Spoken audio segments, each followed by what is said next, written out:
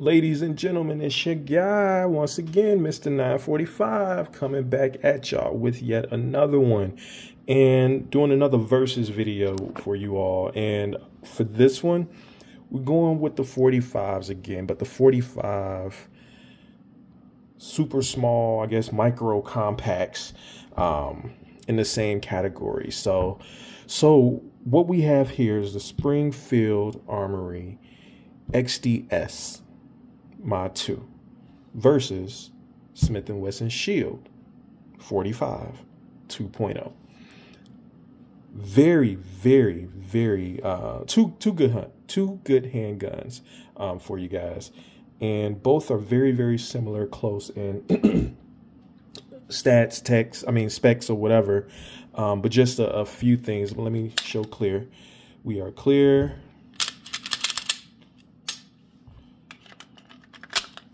And I'll show the trigger pull in just a second, but clear with the mag. All right, so two noticeable differences here. Crimson Trace red dot, Crimson Trace laser. Outside of that, they're, they're roughly about the same. This is a 3.1 inch barrel. I think it's 3.2.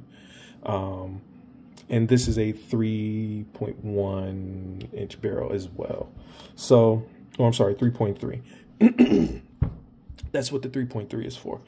And yeah, so overall, these are roughly same size. The Smith & Wesson is a little bit bigger. So you can see it's a little bit longer in the slide.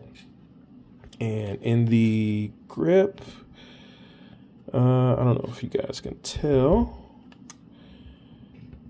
But in the grip, the Smith & Wesson is uh, a little bit longer, probably about a quarter, no, probably about a half inch longer than the Springfield. In terms of capacity, so Smith, yes, seven plus one on here. I know it says six, but this is the extended mag. They both come with an extended and a um, I won't say a flush fit, but I guess a flush fit mag. I run the flush fit. I put the pinky extenders on here. This is a six plus one, a true six plus one um, on here. I believe it's a six plus one. So, so yeah. So let's do trigger pull. So there's your take up. Pretty much at the wall. It's heavy. Oh, I forgot. It's not heavy. It has the safety thing on there. Let's try it again. Right there at the wall. Break.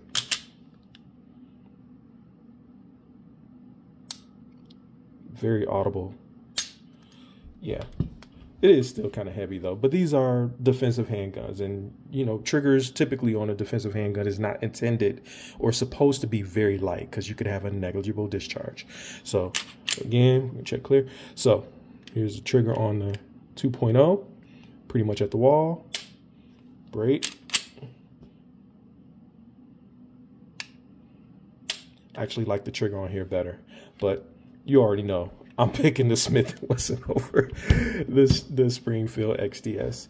Um, again, very very minor differences in terms of like size, right? That's really what you're getting at. But when I shoot this, this to me, I mean, because one, it has a, a, more of a fuller grip or longer grip, I get better control, thus better accuracy.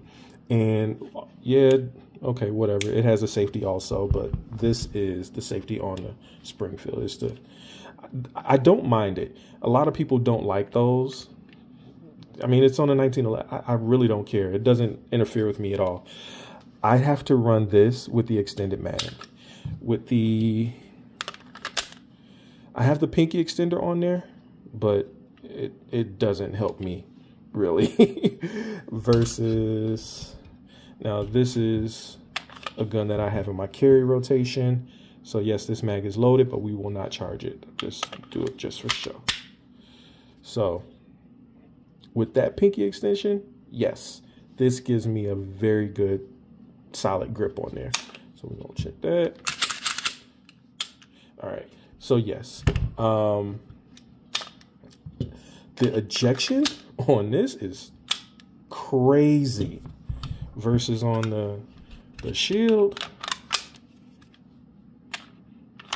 Not as forceful but whew, I love the eject like you can really just kind of kick those mags out there you know? I love that with the um, XD so uh, sight wise you got the blacked out rear on the uh, Springfield um, it does co-witness with the Crimson Trace, and you got the single white dot up front.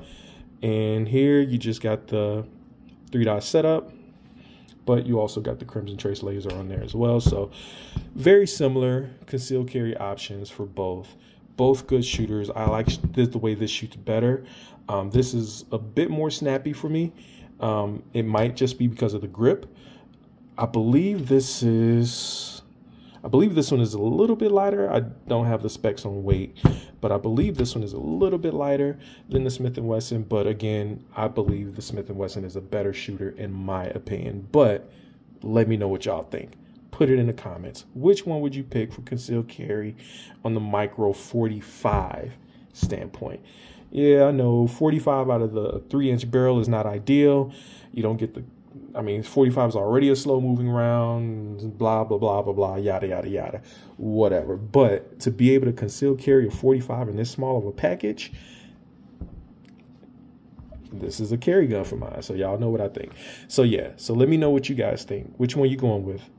XDS, Mod 2 in 45 or the Smith, uh, Smith & Wesson Shield 2.0 in 45? Let me know in the comments. Until next time holla at your boy, Mr. 945. I'm out. Peace.